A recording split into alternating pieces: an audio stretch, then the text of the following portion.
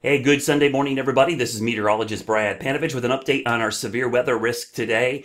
Things are unfolding kind of uh, kind of interesting today with two distinct bands trying to form, and that's going to be the key part of the forecast today of how things unfold.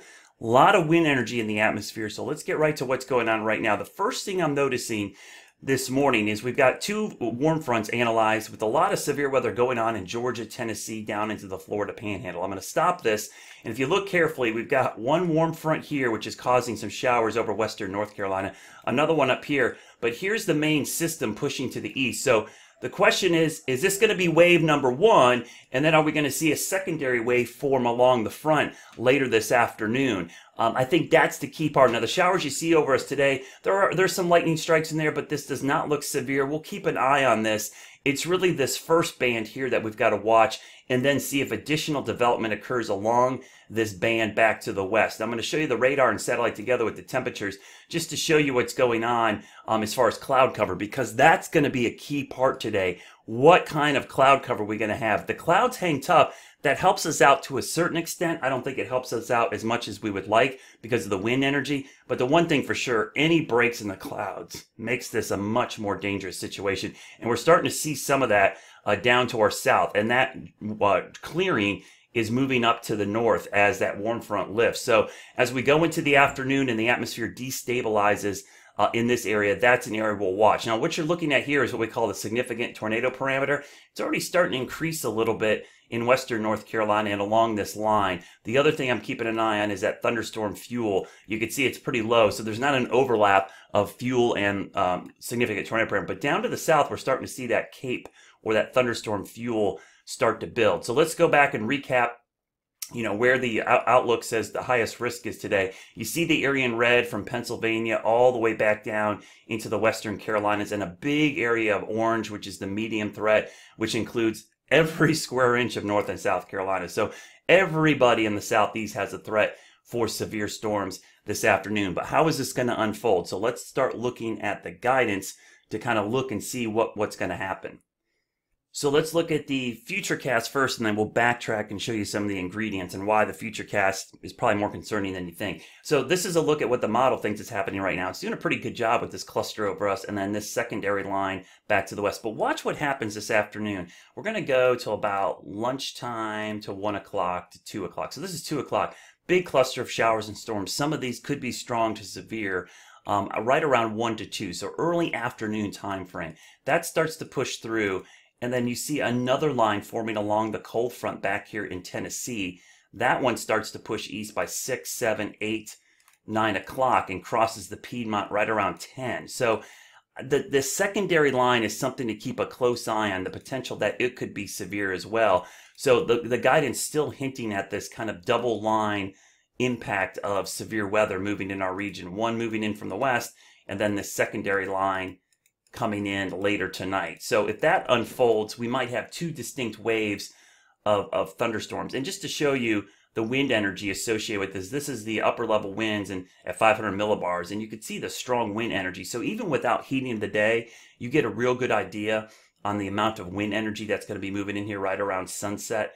Really, uh, really big setup here. So let's look at um, one of the things I'm going to look at here. If this will let me look at it. Uh, why won't let me look at this? Uh, we're going to look at some of the updraft helicity I showed you earlier. Well, I can show you that in a different place, but um, we'll go to this this guidance to show you that updraft helicity. So I'm going to turn everything off here so it's not real cluttered.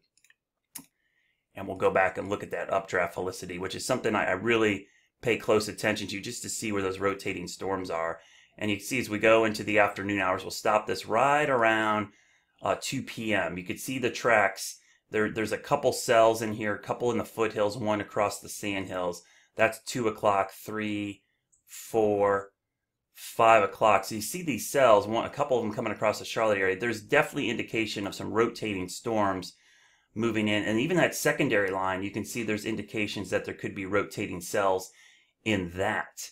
So the potential is certainly going to be there for rotating cells within these two lines that approach from the west. Now, I showed you the outlook earlier, and one thing I want to show you in the outlook is that's the overall outlook. Let's look at the probability of tornadoes, and I'll widen this out.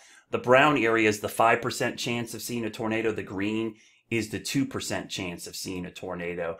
Uh, probability of hail, you've got a nice big 30% uh, probability of hail in that kind of mustard shade.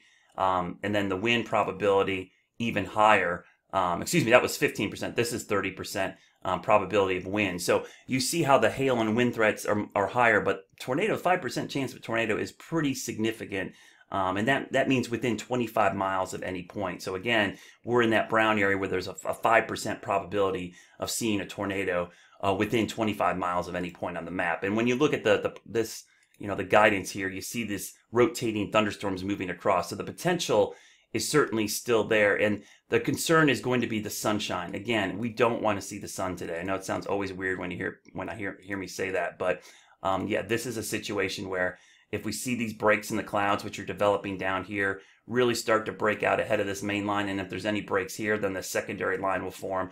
But again, just to time this out, um, I'm going to go back here and turn all this off, and we'll do a timing of this rain. Let me turn the model data off so we're not confusing with current. So here's the current line. So that, that line is probably going to be here right around 1 to 2 p.m. And again, you can see there's been a couple warnings, a couple tornado warnings down here in, in Georgia and Alabama, and a couple tornado watches. So I suspect at some point we'll see some type of watch issued for our area um, as we go into the afternoon. The other thing I was going to show you is the significant tornado parameter. So this is from the same model guidance, and let me back this up so you can see it. So this is uh, basically a 1 to 10 scale, the probability of seeing a tornado. Um, it's a parameter we use called STP, or Significant Tornado Parameter. And I'll go into the afternoon hours. We'll stop this right around lunchtime. And you can see it starts creeping up around 3 or 4. As we get towards mid-afternoon, 2 o'clock, it's around 4 or 5. There's a couple spots that are approaching 6.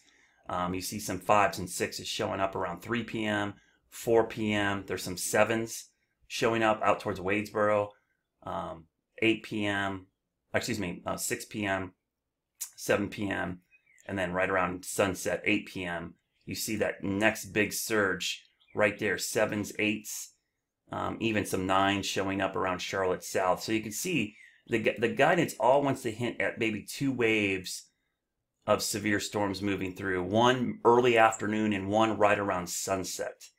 So I think we need to plan for that kind of setup because that's I've seen several runs of that since last night that we have these two waves of thunderstorms heading our way. So just to recap, we'll go back and um, just for timing purposes, I'm going to pull up the model guidance here again, um, just so you're really clear on this. The two separate waves of thunderstorms, and I'll load it real quick.